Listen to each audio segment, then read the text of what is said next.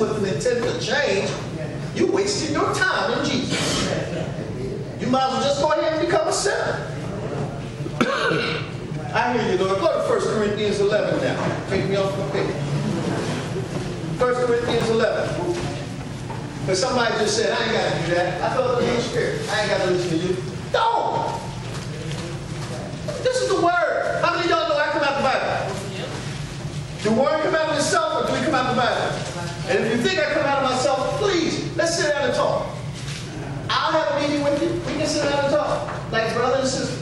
If I said something wrong, please bring it to me. Tony does. Ron does. Jeffrey brings it to me. Even this brother here brings it to me. Uh, sisters bring it to me. I don't have a problem. But do you have a problem with this? Verse 3. But I would have you know that the head of every man is Christ, and the head of every woman is the man, and the head of Christ is God. Every man praying or prophesying, having his head covered, dishonors his head. But every woman that pray or prophesy with her head uncovered dishonors her head. For that is even all one as if she were shaved. For the woman be not covered, let her also be shod. But if it be a shame, you. If it be a shame for a woman be shunned or shaven, let it be covered. Verse 7. For a man indeed ought not to cover his head. For a man indeed ought not to cover his head. Do I got to get religious with that? Hello? Anybody got a question with me about that? Any, it says right here, for a man indeed ought not to cover his head. That sounds like a hat to me. That sounds like a scarf to me. Hello? Look at that. That's making me pray and prophesy, brother. But I love that. Thank you. but how deep can you go with that? Only people who want to do what they want to do are going to find some religious excuse to address it. That ain't what that really means. Well, it's simple English to me. For a man, indeed, ought not to cover his head. For as much as he is the image and glory of who? God. God. But the woman is the glory of who? Man. For the man is not of woman, but the woman of man. Neither was the man created for the woman, but the woman for the man. For this cause ought the woman to have power of her own head because of the angels. Nevertheless, neither is the man without the woman, neither the woman without the man in the Lord. Amen. So every time you keep your head service, men, you dishonor your head. And want to say you in Christ. Bring me to heaven, Lord. Okay. You can't follow that simple rule, something's wrong. Now, go run the pastor and tell him I said it. His doctrine is wrong. Okay. And I bet you he'll rebuke you too. Amen. All right, let's get back on track. Ecclesiastes chapter 12. We're still talking about false balance. That was for somebody who likes to keep their head covered. Ecclesiastes chapter 12. Remember I said the false balance, you're praying too much, studying too much, and all that? Ecclesiastes 12 and 12.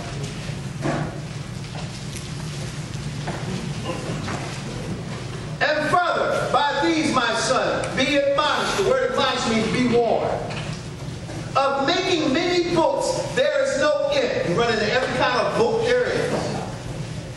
You're at the library, you're down the street, you're picking out philosophy over here, Socrates over there, Confucius over here.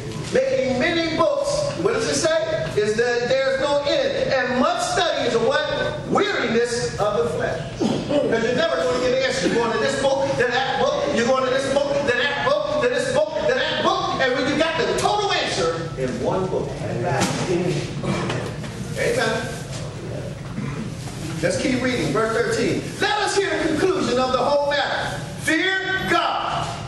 Keep his commandments. For this is the whole duty of man. There it is. For God shall bring every work in the judgment. Every work in the judgment. With every secret thing. So you can think you're doing things secretly. Then they say every secret thing. Come to sees you everywhere. He's, the, he's at every table when it's dinner time. He's the silent listener to every conversation. I say it all the time. Whether what? Whether it be good or whether it be evil. Amen. But what's the conclusion? What do you say the conclusion of the whole matter is? It's to what? Keep his commandments. It's the whole duty of man. Amen. Keep his commandments. Philippians chapter 1. Now let's get into some boldness. You ready to really be bold? Amen. I love it when y'all here, because it's like y'all really, I love this, see, because that tells me y'all listening or ignoring. I'd rather have you ignore. I don't mind.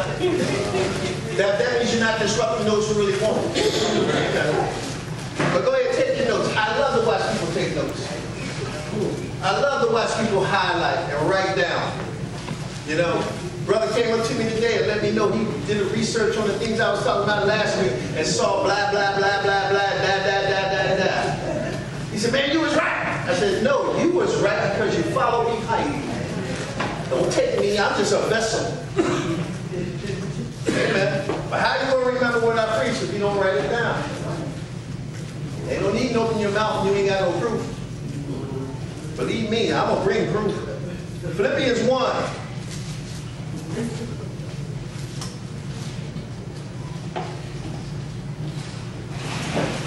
Looking at verses 14 to 21. Philippians 1, starting verse 14 to 21. And many of the brothers in the Lord, waxing confident. I love that word confident. Confident is another word for hope. In the Greek, the word hope means confident expectation. So every time you see the word hope in the Bible, it's saying confident expectation. So when you see the word confident, you're saying hope. How many of you need hope? How many that Jesus gives you hope? And when you talk about Jesus boldly, hope comes in. But people see, boy, you was awesome. Even if you just say, I don't care, Jesus is God. That's bold. Especially when you're talking to false religion. I may not read my Bible every day, don't know from cover to cover, but you know what I do know? He's God. Amen. Be bold. Now. Waxing confident by my bonds, in other words, he was in jail, are much more bold what? to speak the word without what? Without fear. Because your fear should be toward God, not to any man. Amen. Verse 15. Some indeed preach Christ, even of envy and strife, and some also of goodwill. The one preached Christ of contention, always got an argument, not sincerely, supposing to add affliction to my bond. See, they were even talking about him while he was in jail. Man, when he preaching, he locked up, they still said his theology's wrong. Paul was full of crap.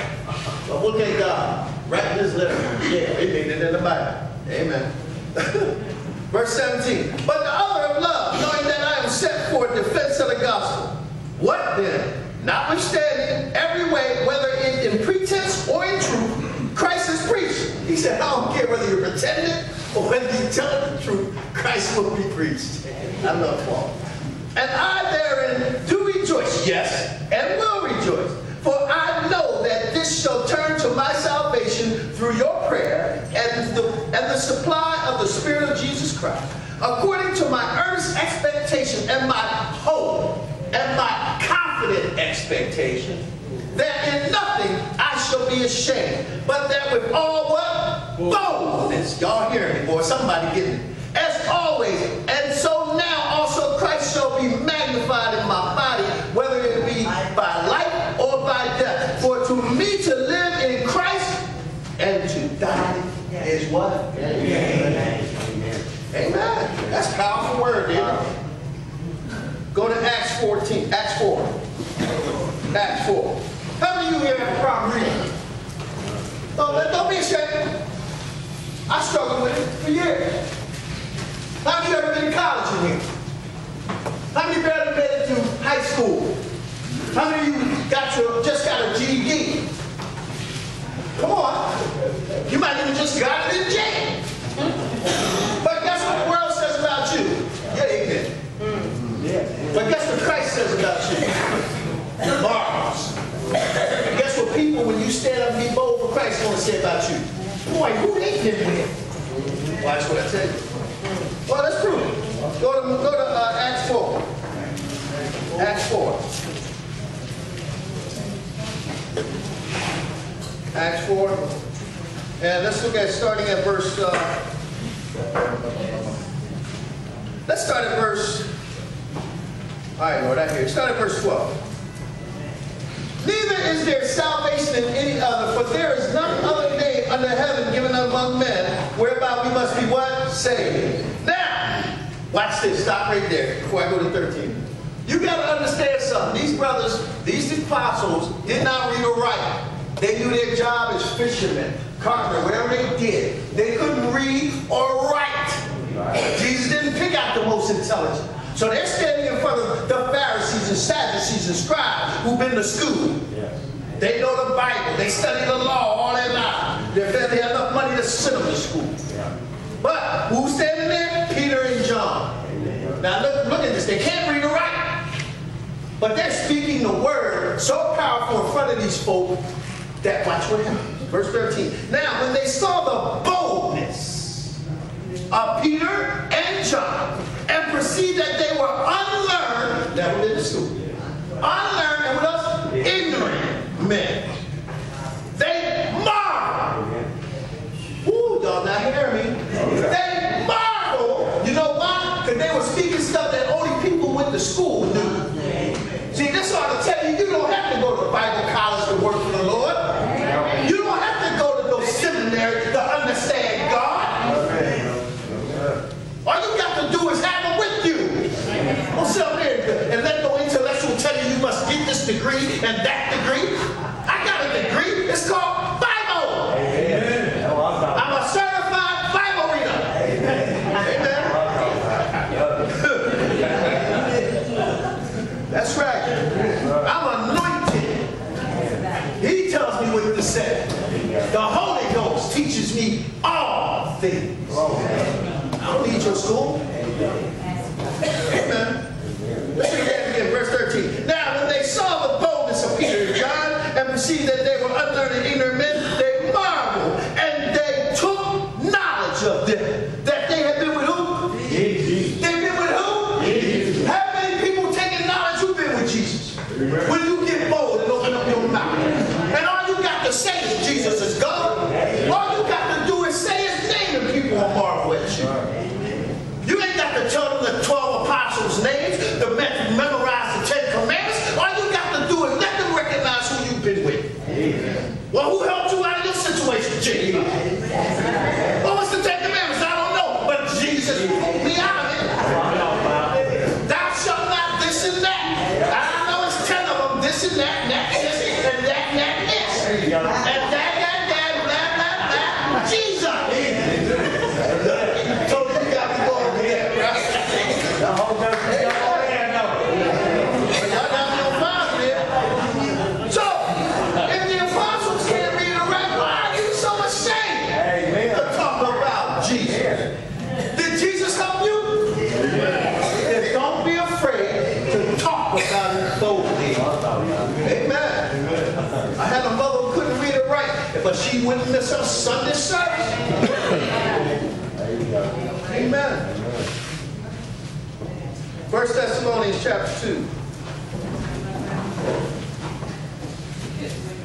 Don't you ever be ashamed of Jesus. You don't know nothing else, say that name. Who saves? Jesus. Who delivers? Jesus. Who heals? Jesus. I know who can take you out of that. Who? Jesus. I know who loves you. Jesus. Because every knee shall bow and every tongue shall confess at the name of who? Jesus. Amen. Y'all got me preaching in here. Come on. First Thessalonians. Look at chapter 2. 2 and 2. First Thessalonians 2 and 2. But even after that had suffered before and were shamefully entreated. Hello? As you know, at Philippi, we were bold in our God to speak unto you the gospel of God with much contention. So when you do talk about it, you're going to get a fight. but no one fights to walk in and no one fights to battle. See? I don't battle battle with argumentative and debating people to. All they do is remind me when I first got born. I never born on nothing. I keep saying it's just a waste of breath.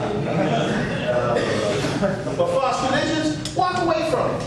But before you walk away, just look at it and say, Jesus is God. And walk on back to him. No, you need a son of God. Well, if you deny him, he will deny you. There you go. And walk on back to the business.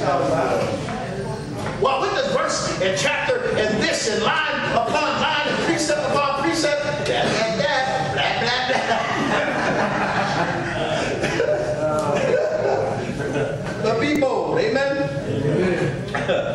Let's go to, woo, yeah, I'm stopped, okay. Y'all ready? I'm telling you, got a lot of scripture for bold. Let's go back to Acts 4. Acts 4. We're going to stay in Acts for a minute, okay? Let's just go to the book of Acts. Acts is your history book in the New Testament. Y'all get anything out of this? Amen. I know the Jonadab kind of slowed you up a little bit, but I need your attention. Right. I wanted you to recognize people that's in your life trying to deceive you and be subtle and wearing the badge of Christian. But they subtle and sneaky. Just keep watching their lifestyle. That's all you got to do. Just watch it. Just watch it. That's what it says, be watchful. Amen. Acts 4, verse 28 to 20, 31. 4, 28 to 31.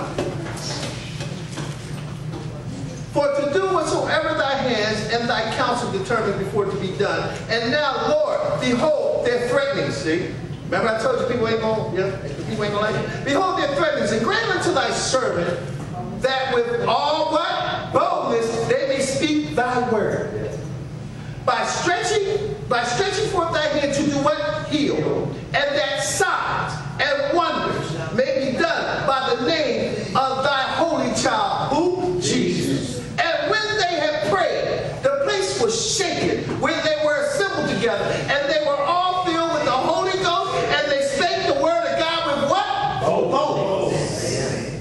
Come on now. They didn't care about the threats, but they spoke it boldly. You need to be bold enough to tell some people around here to just shut up. And go read your Bible. Shut up. I ain't never seen you pray a day since I've been here. Shut up. I ain't never seen you serve. Shut up. You just need to shut up. Go do your work quietly. Shut up. Because you're speaking nonsense. Blah, blah, blah, da, da, da. Shut up. When I see you got a prayer life with a balance of reading the word, with a balance of helping around here in this ministry, then we can talk. Other than that, shut up. Acts 9. I just can't stand lazy folk, man. I'm sorry. I really can't. I'm getting ready to deal with my, my, my stepson at home. I can't stand lazy, lazy folk. I can get anything out of my pocket. But when I see you lazy and trying to misuse things, oh, I'm coming down. You know what I mean? If I can work eight hours a day with arthritis in this shoulder and arthritis in this elbow, and I'm going four-story building all around the floor, they come home and mow the lawn too after I told, hey, you got to work now. Something wrong with this picture. When I was growing up, my family told me, boy, when you get 18, you either going to get a job, you either going to go to school, or you're going to serve. But you're getting out of here. And if you ain't prepared for what's out there, it's on you. The door ain't open no more. Let the door now hit you with a good Lord stretcher, but you ain't coming back in. Believe that. But we let our kids just get away with murder. That's right. You know, we think they're so intelligent sitting in the room playing computers and games. Yeah, oh yeah, we didn't grow up with all that stuff. You know what I'm saying? But let me tell you what they do in those rooms. They ain't watching porn, playing games all day, but they ain't doing nothing. My son don't gotta eat out on the street selling drugs. But what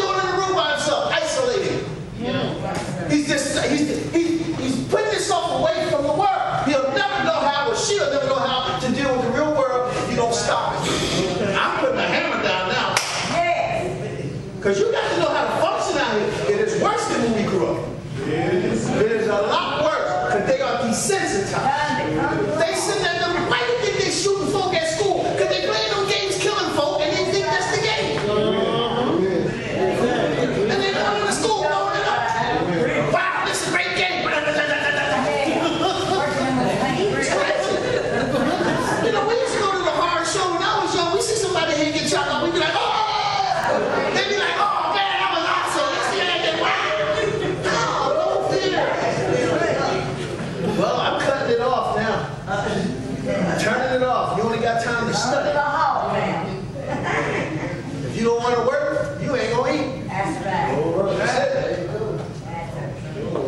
What I say? Acts 9. Did we read that already? Nope. Acts 9, verse 26. I'm on a mission now. I'm tired of lazy folk. 26 to 29. Acts 9, verse 26 to 29.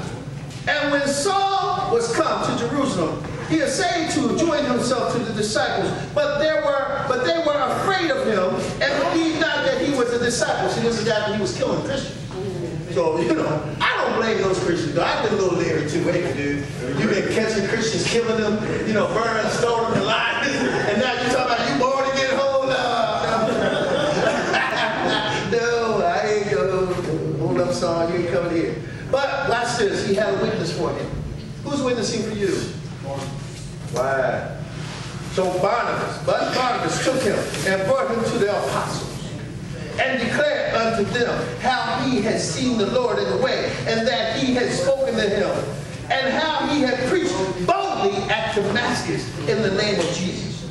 And he was with them coming in and going out at Jerusalem. That's where I want to go 29. And he spake boldly in the name of the Lord Jesus and disputed against the Christians, they went about to what? Kill. Now has switched. Now they're going to kill him. But what I want you to see there, Barnabas spoke up for him. I tell you right now, I see y'all walking down the street and somebody tell, I'm going to speak up for you. People even after the job, he asked me, how come you go down that friendship? And I looked at him and said, I, I was homeless. I said, my friend, you stay down there? Yeah. I stayed down there. And I still go down there. What's wrong with you? You need to come down there. Matter of fact, why don't you send your children down there so they get an idea that if they keep acting the way they acting, they may wind up down here. At least the people down here ain't ashamed to be here no more because they know this is a stepping stone to get out. I hope some of you do. Do some of you see that? This was God's stepping stone for you to get out of your condition. You ain't supposed to retire here. Men. If you don't work here, why are you here? I understand the people that are here because of supplement problems and illnesses and things like that. But if you can get up and walk and move, why are you here after a year or two and ain't Look, Emmett, look at Emmett. Emmett, his mind. The. That boy making good money now. You know why? Emmett asked questions. Emmett got them together. Emmett read his book. And I finally had to correct Emmett and say, Emmett, serve the Lord, not your mind. Don't serve your intellect. And look what happened. You're asking the right questions, but get in the right spirit. Your questions and your spirit are too far apart from each other, brother. One is intellectual. They could be the same question, but one could be flesh and one could be spirit. He finally figured out one was spirit. Amen. And where's he at now? God wasn't going to give him that money until he knew his heart was right. Amen.